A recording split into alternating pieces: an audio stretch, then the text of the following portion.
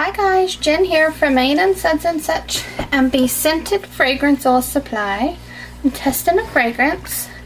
This one is going to be called Donna type. It is a dupe that we are having done for one of our customers. It is a feminine scent. Uh, very, very nice. It's got a little bit of musky, but it's total feminine.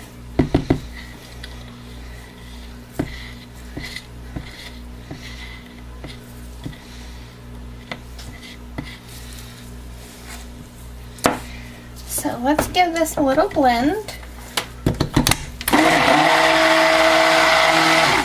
Add our cream in there.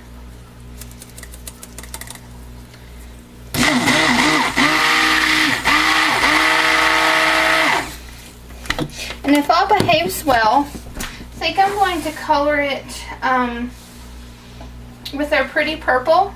Just one color. I'm doing simple soaps today. So, let's see.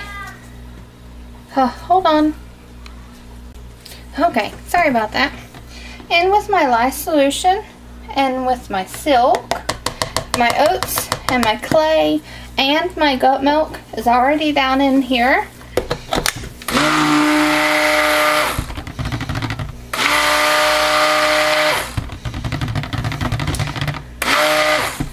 Let's go ahead and add our fragrance. Hope that she plays well for us. Because it is very feminine, floral, musky. It smells really good.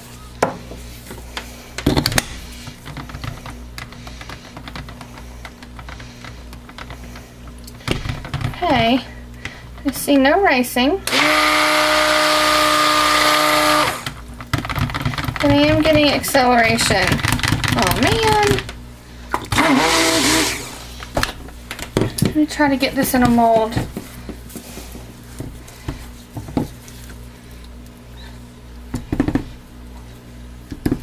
Man.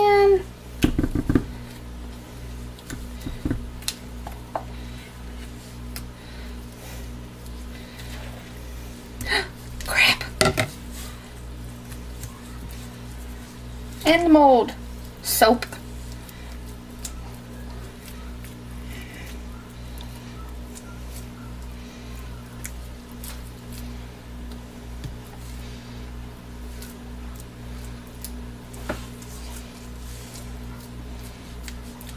Just trying to mush it all in there.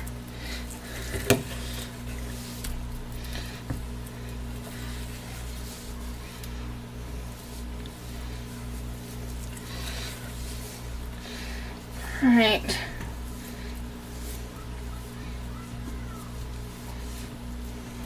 I don't know how much banging is going to help me.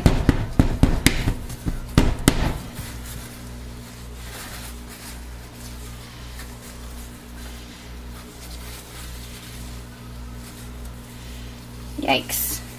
That was a fast one. So I'm going to take my spatula and try to smooth the top as best I can.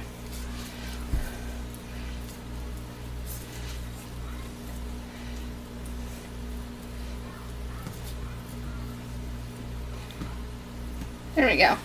That will work. Alright guys, I'll bring you back for the cutting.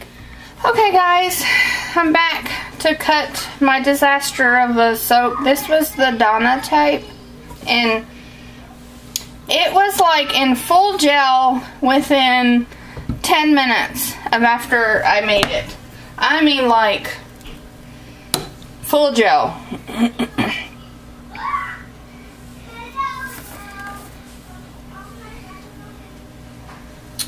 so